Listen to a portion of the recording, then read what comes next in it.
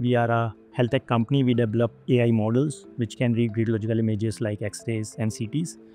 One of the use case for us is to predict TB on X-ray. We are also solving for lung cancer and oncology and stroke for countries which are developing low middle income countries.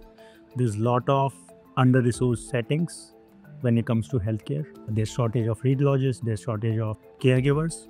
So I think technology can be a right solution to help and augment humans to give better care.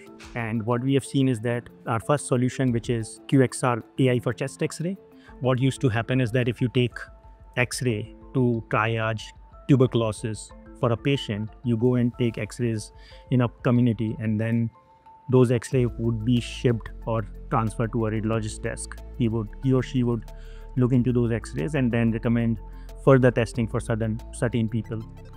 Entire process took around seven to 14 days. Very inefficient. Qure's algorithm is able to predict and triage patients with symptoms of TB on an X-ray.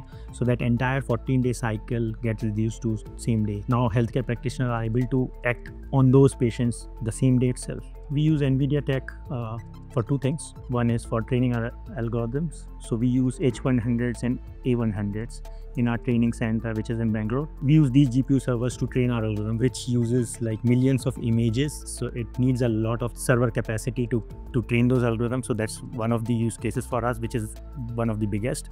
And other is we use NVIDIA's Jetson for our offline settings, where we install our software in a GPU laptop so that it can process the X-ray right there and there and give results without sending it to the cloud. I think NVIDIA is not just a partner for a startup like Qure. They also act as a network for us because they help us get introduced to a lot of other technology partners like cloud services. NVIDIA has a great ecosystem which supports our engineers. Our mission is to make healthcare accessible and equitable to all. We want to be a one point solution for all healthcare needs we want to structure the all unstructured data so that patient care can become better.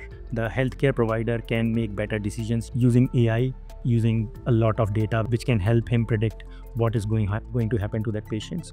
And uh, overall, AI is gonna revolutionize the entire healthcare industry, and it'll be better world for all of us together.